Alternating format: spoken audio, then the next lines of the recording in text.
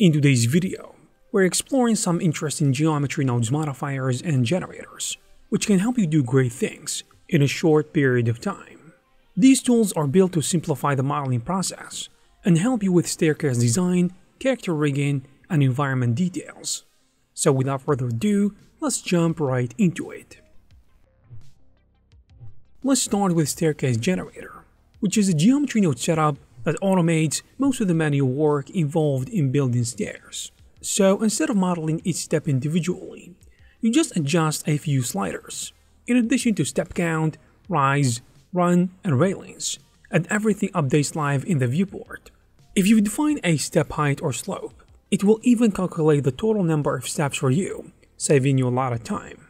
And from what I can see, it comes with useful presets for typical stair styles, including a spiral staircase setup with radius and turn controls. And for more custom designs, you can tweak options like profiles, shapes, stringers, and UV layout features, such as stretch fix and rail trimming. However, there's one small caveat. It works best with quad-based geometry, so if you're using booleans, or you have n-gons or triangles, I mean in your mesh, you will need to clean those up first.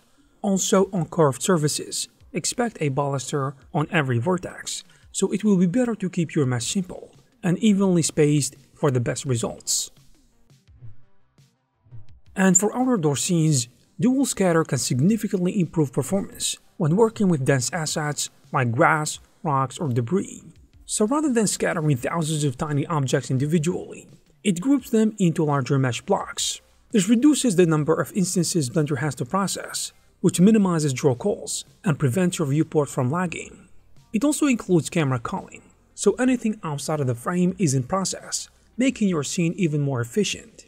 And to add life to your scene, a procedural wind effect introduces subtle movement across scattered objects. Now, if you're working with character rigs, you will probably need Eye Corrector, which is a geometry nodes modifier designed to fix common issues around the eyes. From what I can see, it is particularly helpful for preventing eyelids from intersecting with eyeballs during animation. The modifier tracks the original distance between the eyeball and their surrounding eyelid vertices, ensuring they don't move too far, inward or outward, in an unnatural way. So you assign the affected areas through vertex groups, and the modifier handles the rest in real time. The tool also includes a bump feature for the cornea, adding subtle roundness to the eye without needing additional modeling. There is even an experimental option to reduce eyelid overlap, though this may require some tweaking to get the best result. Setting up also requires Blender 4.3 for the gizmo controls and a specific rig setup, and eyelids must be driven by bones, and the eyeballs should be parented. You will also want to place the modifier before the subdivision modifiers to avoid unwanted stretches. Once set up, Eye Corrector stabilizes the eye area, eliminating the need to sculpt or manually adjust deformations. For adding realistic clothing creases without a full cloth simulation, the folds modifier is probably what you will need. It is designed to give clothing a natural and a folded look. It uses two main components. The first calculates the tension map based on mesh deformation, while the second uses this map along with grayscale textures that you paint to displace the geometry and create folds. The result is a simple, non-simulated way to add realistic details to clothing. And generally, painting textures is intuitive. Lighter areas buff out and darker areas push in. The setup includes a live preview mode to help you adjust the effect, and you can limit the influence with vertex groups. One thing to note is that your textures need to be set to non-color data in the shader editor, or you may get unintended results.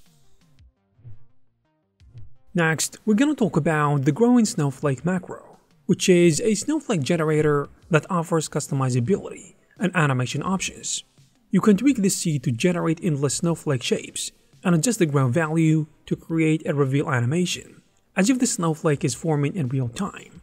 The resolution and bold sliders control the complexity and thickness of the design, giving you control of how intricate the final result is. The macro is driven by a profile curve, that you can swap out, allowing for endless variations. You can animate the grow slider from minus 1 to plus 1, and you will have a snowflake that grows, which is suitable say for stylized intros educational videos, or maybe abstract animations. Last but not least, we're gonna talk about the Europe style random building generator, which focuses on generating traditional European style buildings, those narrow, stacked houses with tiled roofs and varied windows. The setup is easy to use, model a base shape in the edit mode, and everything builds off that. The scale, slope, and form of the model will influence the final result. The tool lets you control block dimensions, the number of floors, window counts, randomness, and even surface damage giving you a lot of flexibility.